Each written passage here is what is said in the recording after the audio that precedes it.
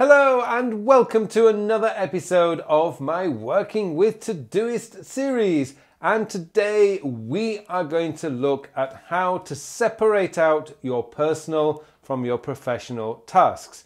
Now, this is not something I personally do or even recommend because we live one life and our professional and personal life is part of that one life. When you start separating them, you are putting yourself at risk of important things getting missed. However, for some people, they really, really hate their job and just don't want to be reminded of that part of their life on a weekend or in the evening, and they really do want to separate them out. Now, you can do this but in Todoist using a combination of labels and filters, and it's really quite simple. Now, before we go any further, I would just like to say if you do get any value from this video, then please help me by clicking on that like button below. And if you haven't subscribed to my channel yet, and you want to get all the latest tips, tricks, and news on using Todoist, then please subscribe to my channel. Okay, let's go into my demo account now, and I'll show you how to get this set up. Okay, so here we have a typical Saturday list of tasks to do. Now I've got nine tasks, so it's clearly not an overwhelming day, I would hope. And there's quite a few personal tasks, in fact, more personal tasks than work tasks. Obviously, if this was a Monday or a weekday, it's probably going to have more work tasks than personal tasks. But really, that's not something that you need to worry about. Now, the first thing I'm going to suggest you do is to take you take advantage of Todoist multiple select tasks. Now to do that, all you need to do on a Mac is, if you're using the desktop version, is Command and click. If you're using a Windows, is Control and click. And just go down and look for your, well, in this case, I'm going to start with the work task. So we're just going to go click. There's uh, and write up coaching feedback. Now I consider clearing my action this day folder, which is my uh, email, as a work task. So I'm just going to go to up on here. Now you'll see is that you get this additional menu on the top line. I'm going to click on labels. Now I don't have a work label, so I'm just going to type in work.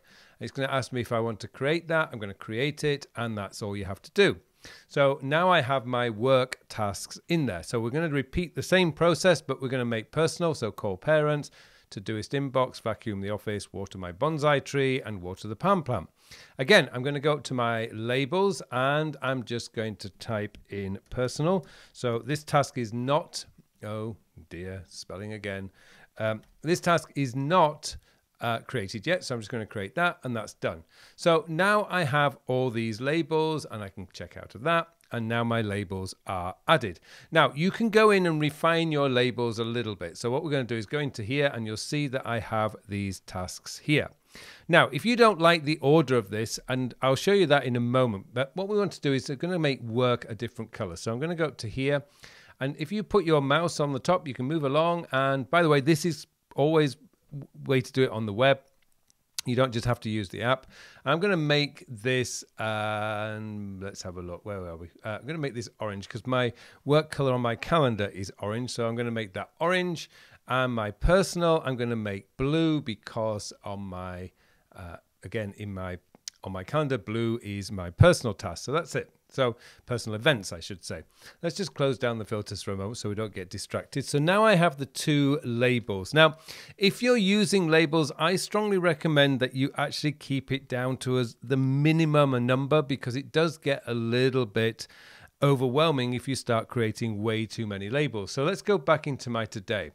So now you'll see that I've got these all set up in different ways. Now, one of the great things about Todoist is we have we can actually customize the view. So what I'm going to do is I'm going to go into my view up here on the top right and I'm going to leave it as a list. Well, you could actually do it as a uh, a, a, a board if you wish. My brain went dead then. But the key for me is I'm going to group this. I'm going to group this together by label. And that's really all I need to do. So what I've got now is my today is set as a custom view with by label. So my work tasks are now up at the top and my personal tasks are down at the bottom. By the way, if you don't like that, you can go back into your filters and labels and you can now actually move these around. So if I move personal to the top and work underneath, I can go back to my today and now my personal is at the top and my work is at the bottom. Great way of organizing it. But let's go back to filters because I because when I start my day, it's more likely to be work. So I'm just going to put work there and my my setup is all done. Great, so that's what we've got set up. So when I go back into my today view, I have all these tasks set up. However, there is something else we can do because this means that you see both work and personal together, although they are now separated. There is something else we can do. We can go back into filters and labels and we can create a filter. Now to create a filter, all we have to do is go to the plus at the side here and hit tap. I'm going to put today's work I'm going to capitalize that because you'll see in a moment. The filter query for this is I'm going to put this in brackets and it's going to be today and, oh no, not and, sorry, today. Uh, this means or overdue and then close the bracket and, and then I'm going to add label and I'm going to put work. Okay, and I'm going to change the color. Again, I'm going to make that color orange because that's my work and I'm going to add that that in. So now you can see that anything that's dated today, Saturday, is my is now showing for my work tasks. But that isn't all you need to worry about. What you can now do is go back into your filters and labels and you can now hit the, the favorite button and that will now be added here. So let's go back into filters and labels and we're going to create a new filter and we're going to put today's personal. Or you can call it home, it's entirely up to you. Um, and my filter query is going to be the same except for, so I'm going to put today and, oh, sorry, not and, I, can oh, I would like and, and overdue. So it's not, it's today or overdue, or overdue is important. Close the bracket and then and, and at, and we've done work, so we're going to put personal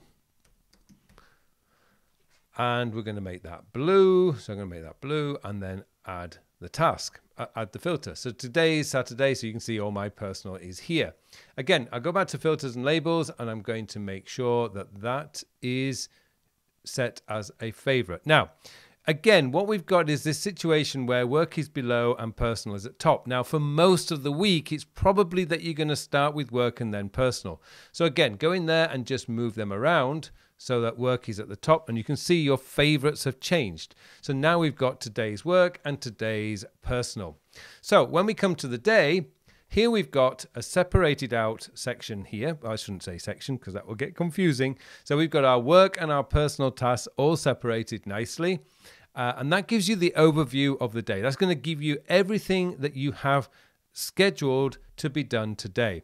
However, what you're wanting to do, and this is one of the things reasons why I absolutely love Todoist, is to start using your favorites as your as your workflow. So when you start the day, this is where you go. You start right here and you can see today's work tasks. So as you go through the day, you can be checking those off and this is going to be great. So you get all those cleared off. And at the end of the day, that's it. You've done your work at the end of your workday. Now you'll see that I could actually, I have a choice. I can go to today and I can just see my personal tasks when I get home or whatever I want to do, or I can just follow through the workflow. And there we go. We have our tasks, our personal tasks for today. So, this is a great way of being able to separate your work from your personal life. Now, for me, as I said at the introduction, it's not something that I necessarily need to do because I, I work from home and I actually do quite a few of my personal tasks in the afternoon. I do a lot of my work tasks in the morning and the evening. I kind of separate my day into three sections. But you might be working a traditional working week whereby morning you're at work, and the evening you're at home and you just want to be able to separate these out.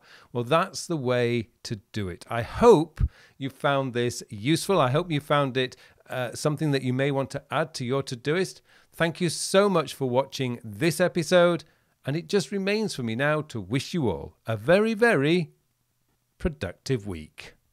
Hello, thank you very much for watching my videos. Now I have something exciting to tell you about. Recently, I have developed a brand new time management system. It's a system designed to manage your time in the 21st century. The world has changed a lot over the last 20 years. In fact, it's actually changed a lot this year. And what we need now is a system, a time management system that is very easy to use, easy to maintain, so that you can spend more of your time doing the work. And that's what the time sector system is all about. It's going to change your whole belief system about way, the way a time management system should work because this focuses on when, when you are going to do the task. And let's be honest, it doesn't matter how motivated, inspired or how urgent something is. If you don't have time to do it, it is never going to get done. And that's what this system is built around, getting your work done. So you can spend more of your time doing the things that you want to do. I hope you join me in this course. The full details of the course are in the show notes below, so please join me and thank you very much for watching this brief video.